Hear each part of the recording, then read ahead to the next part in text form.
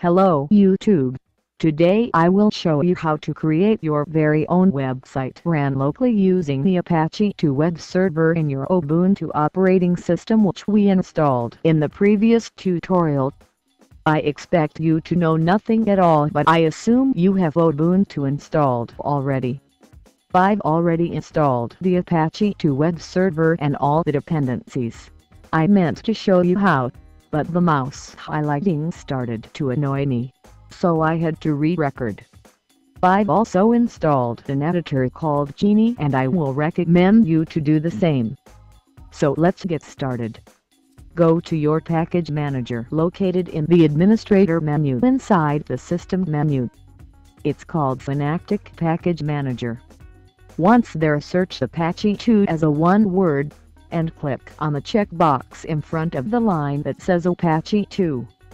Select Mark for installation and then accept all the dependencies. Then search for Geany and do the same for that as well. Once done, click on the button that says Apply, and finish the installation. Go to your desktop and create a new folder called My Site as a one word. Go inside the folder and create an empty document and name it as index.html. Now right-click on the index.html and open it with Geany. You can also open the index.html in a web browser if you want to but so far there is nothing written in it. Now let's create our index page. That is a page that has been configured in Apache 2 to load automatically once a folder has been accessed and it must be named as index.html. You should check the w3.org website to understand what the first two lines in the page mean. I won't be clarifying it more than that. Note that I forgot the closing greater than sign from the end of the second line but that got fixed later on.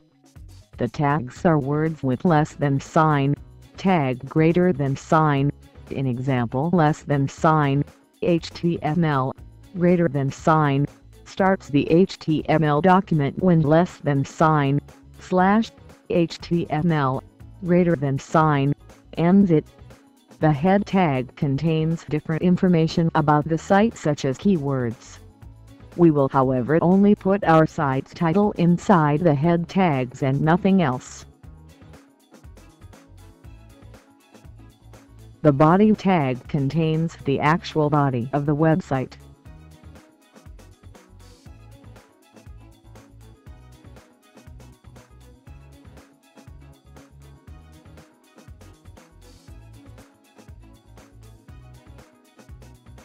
The H1 tag is heading tag and the P tag is a paragraph tag.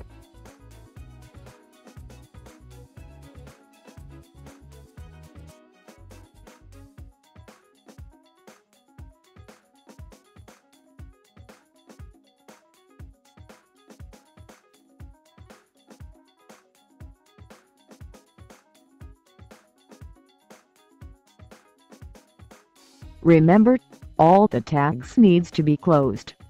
Once you're done writing the index.html document, save and open it in your web browser. Or like I had it already open just refresh the page.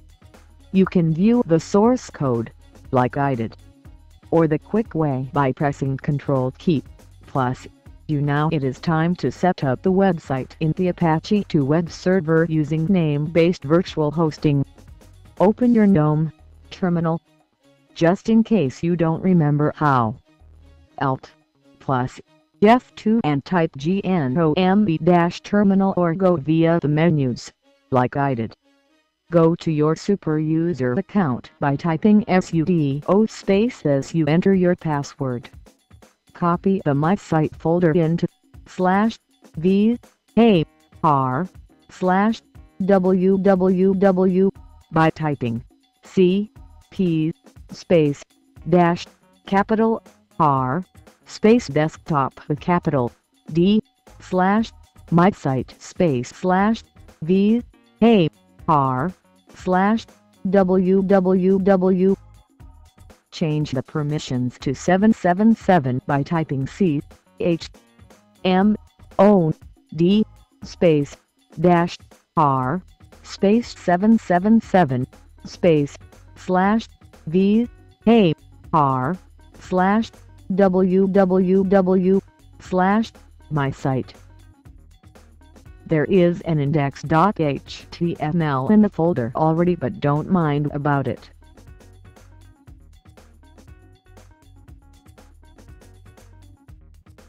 Go to the Apache 2 folder located in slash etc slash Apache 2 and open file called ports.co then f by typing nanoports.co then f. Move down at the line where it says name virtual host asterisk colon 80 using your arrow buttons in the keyboard and put the number sign in front of it. That will comment the line out so Apache 2 will not use it. Press Ctrl button plus X then Y and enter to confirm the saving of the file. Go to Sites, dash, Available. By now you should know how to do that. And create a new file called MySite by typing nano MySite. Type what I have in the file and save the file by pressing Control button plus X, then Y, and enter to confirm the saving. Now we are almost done with creating our first website. We just need to edit the hosts file located in slash etc.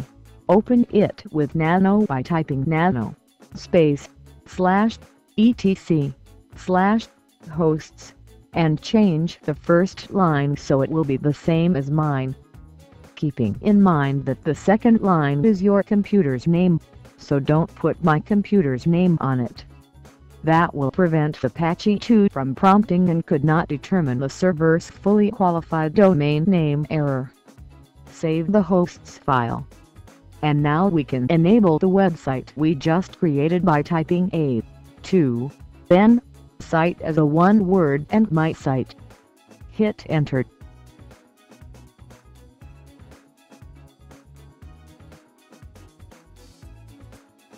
Then, slash etc slash init dot d slash apache 2 space reload.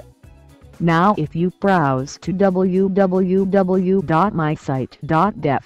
the address we specified in the MySite document we created in the Sites dash available folder we get an error saying the page could not be found.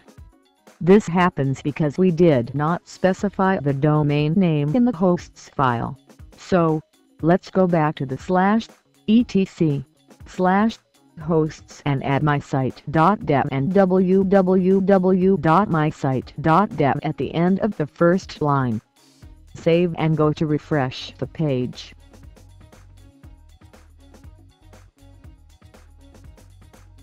Now you have created your first very own, fully working website in your very own Apache 2 web server.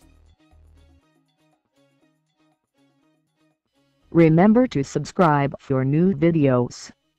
Thanks for watching.